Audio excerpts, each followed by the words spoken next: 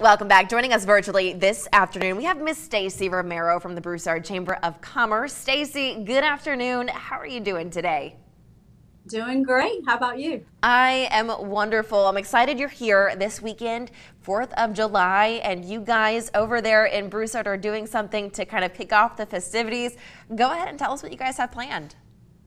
Sure. So this Sunday, July 4th, we are hosting the 16th annual Broussard Independence Day Festival out at St. Julien Park.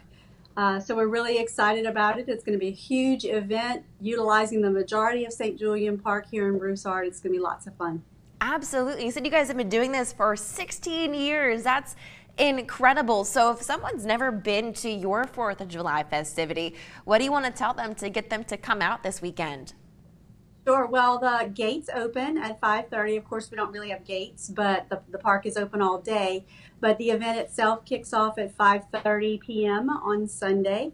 Uh, at 6 p.m. is when all of the activities actually begin. So in the blue pod, which is where we typically have t-ball and softball games out at the park, uh, that's considered our kid zone. So we'll have vendors set up there. We'll have a face painter, a strolling magician, a DJ, of course, concessions uh, the splash pad and the playground happening there. And then across the park in the red pod, where we typically pay, play baseball, mm-hmm. uh, we're going to have Jet 7 performing live on field one and more yard games and things for uh, not only kids, but I guess adults too. We're going to have cornhole and all sorts of fun things happening on the red side.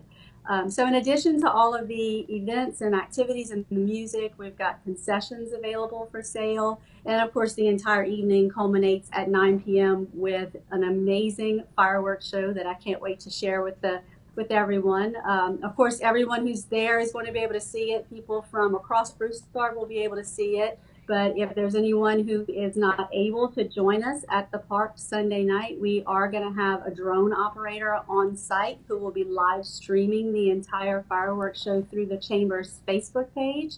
So anyone so from cool. across the globe can log in and watch the, the, the show with us. That is awesome. Stacy, it sounds like such a fun time. Thank you so much for joining us virtually to share this event with our viewers.